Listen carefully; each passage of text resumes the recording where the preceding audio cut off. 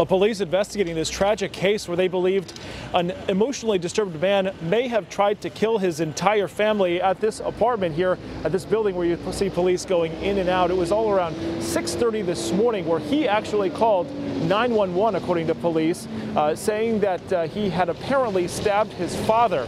When police got here, that's when they found that 70-year-old man uh, lying unresponsive uh, inside of the house. The 72-year-old man was uh, pronounced dead here by EMS. When they also made their way around the house, they found more possible victims of domestic violence, including a 70-year-old woman, a 31-year-old man, and 29-year-old woman as well, all unconscious with a faint pulse, possibly suffering from carbon monoxide poisoning. The hazmat team from the FDNY was called in to investigate. They are still looking into the exact circumstances of what may have possibly poisoned them inside of that house. Uh, police did ultimately take that 30-year-old uh, suspect into custody. They say he was emotionally disturbed, acting erratic. They also say they found a pair of scissors inside of the house they believe possibly could have been used to kill his father. The investigation into all this still ongoing. Uh, the reasoning behind it, and in fact, if the three other people's three other people who were taken to a hospital